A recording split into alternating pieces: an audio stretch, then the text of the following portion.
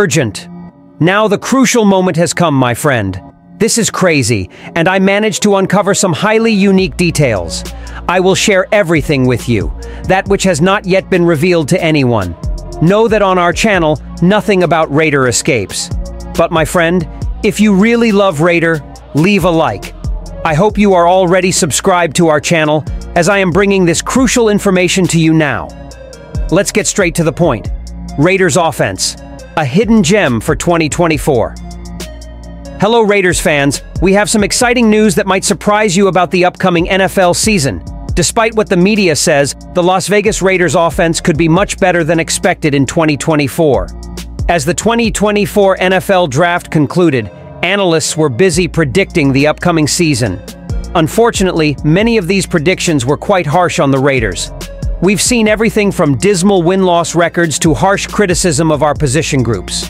The national media has gone so far as to rank our quarterback room as the worst in the NFL and predict just six wins for us this season.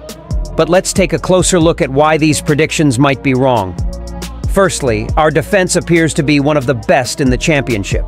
With stars like Maxx Crosby, Malcolm Koonce, and rookie Christian Wilkins leading a ferocious defensive line, our defense is ready to dominate.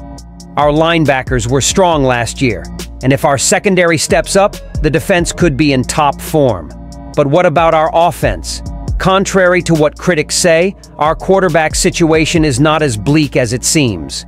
Aidan O'Connell and Gardner Minshew too proved they can win at the NFL level last season. O'Connell, now our full-time starter, led us to victories against our three AFC West rivals. That's a solid foundation to build on. Even though we lost Josh Jacobs in free agency, our running back room is deeper than ever. Zamir White shined last season, and we've added more talent to the mix, ensuring our ground game remains strong.